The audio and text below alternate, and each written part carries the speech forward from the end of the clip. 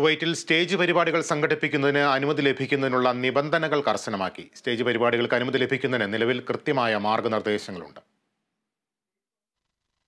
Ticket വിൽപ്പനയിലൂടെയോ അല്ലാതെയോ നടത്തുന്ന stage പരിപാടികൾക്ക് അനുമതി ലഭിക്കുന്നതിന് നിലവിൽ കൃത്യമായ മാർഗനിർദ്ദേശങ്ങളുണ്ട്. വിവര മന്ത്രാലയത്തിന്റെ national council for cultural arts and letters അപേക്ഷ സമർപ്പിക്കുക എന്നതാണ് ഇതിനായുള്ള ആദ്യ നടപടിക്രമം.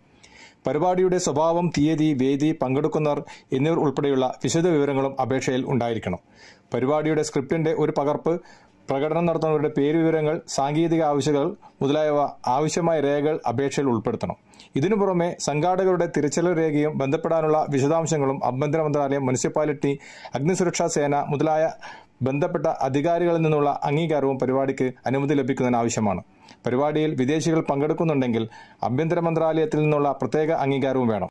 അടുത്തിടെ അനുമതിയില്ലാതെ ആഘോഷ പരിപാടികൾ നടത്തിയ ശ്രീലങ്കൻ പ്രവാസികൾക്ക് നിയമ നടപടികൾ നേരിടേണ്ടി വന്നു. പരിപാടിയുടെ സംഘാടകരെയും മറ്റുമായി ഇരുപത്തി പേരെ കസ്റ്റഡിയിലെടുത്തു. വെള്ളിയാഴ്ച ശ്രീലങ്കൻ അസോസിയേഷൻ സംഘടിപ്പിച്ച ശ്രീലങ്കൻ സമ്മർ നൈറ്റ് എന്ന പരിപാടിക്കിടെയാണ് സംഭവം. കുവൈത്ത് അധികൃതരുടെ മുൻകൂർ അനുമതിയില്ലാതെ ഷോ പൊതുപരിപാടികൾക്കും ചടങ്ങുകൾക്കും കൃത്യമായ മാനദണ്ഡങ്ങൾ അധികൃതർ നിശ്ചയിച്ചിട്ടുണ്ട്.